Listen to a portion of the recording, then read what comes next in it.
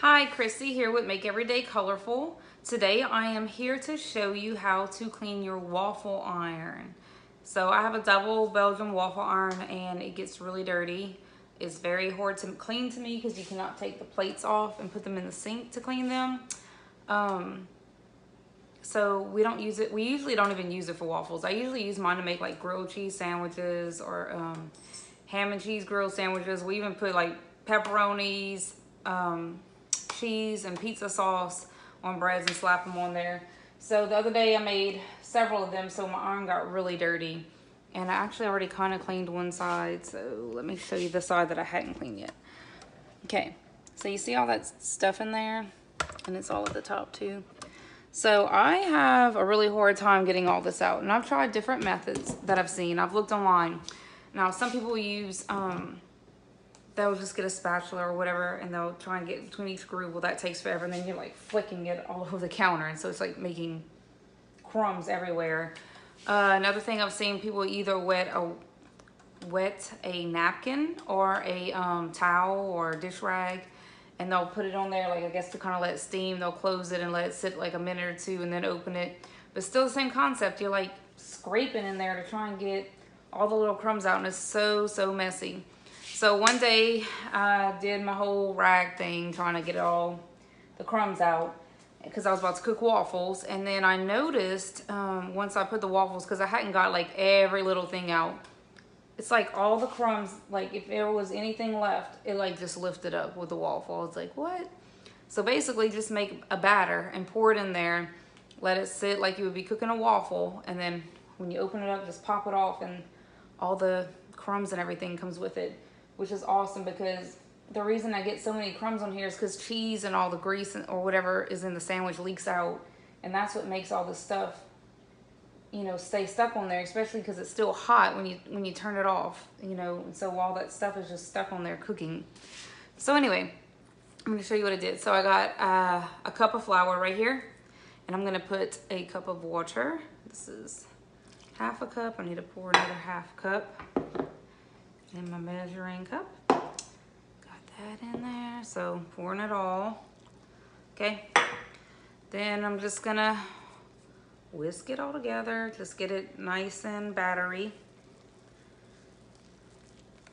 And this is just something quick and simple to do. Um, you know, instead of, obviously you're not gonna make a waffle batter just to clean it. So this is the quickest way I found to do is just mix flour and water together and seems to work pretty good. So, all right, so as you can see, it's like a batter now. Ooh. Oh my gosh, y'all, I just spilled some on my counter. Okay, so now I have mess number two to clean. So anyway, so now I'm just gonna pour it in there as if I was gonna be cooking a waffle. Just pour it in there. I'm gonna spread it everywhere, get in all those crevices. I wanna make sure I put enough that I can um, get the top plate uh, covered as well. So I'm pouring most of this. So you might, you know, actually have to do like a double batch if you need to clean both sides, if you've used both sides. So get all this in there, just try and use it all up. Okay, so now I got it nice and thick in there. Just close it like I would normally be cooking a waffle, flip it, and I have it set at, I'm putting it at three minutes because I want to make sure it's done. So I'll be back in three minutes to show you how it um, turned out. So just hang tight.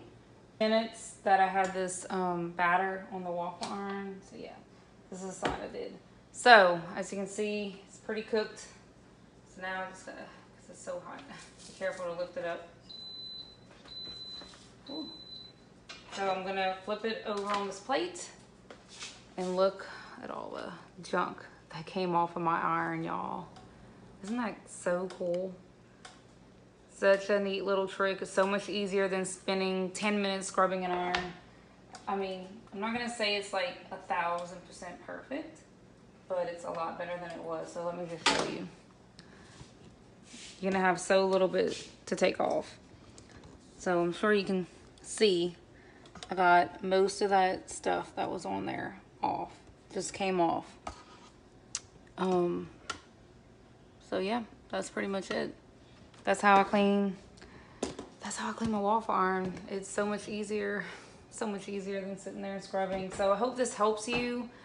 Um, I hope you try this trick with your waffle iron. You see that you're gonna save yourself so much headache by doing this and you can get all this nasty, nasty, nasty stuff off of there without scrubbing and being aggravated trying to clean it. Well, thank you for watching. If you don't mind subscribing to my channel, if you like all my videos, I'm gonna keep putting new videos out there. So subscribe to Make Everyday Colorful, where I share um, tips and tricks and things I do with my kids and um, just my everyday life. Thank you.